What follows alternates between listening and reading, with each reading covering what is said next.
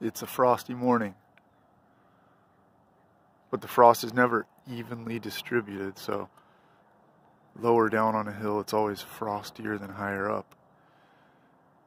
Here's all the frost down low, and you can watch it get less and less as you go uphill.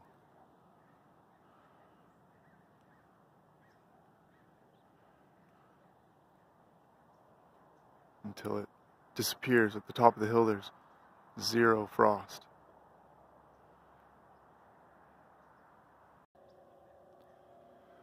Also note that on the south facing walls, especially if they get sun, there's usually less frost near there. So there's frost down there, and then get over here near a south facing wall, and there's no frost.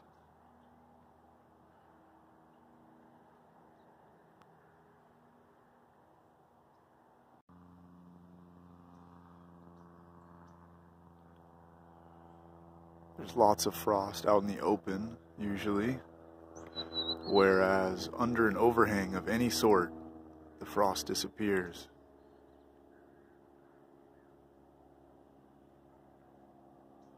It could be the overhang of a roof, it could also be a natural overhang. Here's frost out in the open, and then under the canopy of a big oak tree there's no frost. It's totally frost free over here.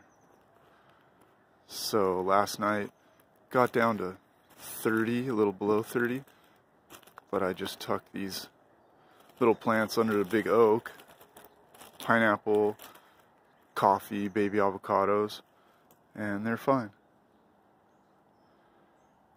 They also get the first shot of sun in the morning because they're southeast facing this slope, which is perfect.